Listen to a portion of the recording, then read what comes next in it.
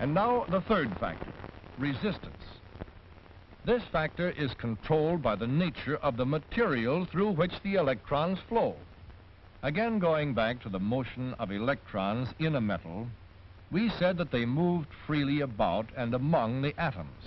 However, even in the best of conductors, some of the electrons collide with the atoms, tending to retard the movement of the electrons. This is the cause of electric resistance. Collisions are more probable in some metals than in others. Therefore, different metals offer different degrees of resistance to the flow of electrons. For example, copper has low resistance. It permits the electrons to flow freely with few collisions and is therefore a good conductor.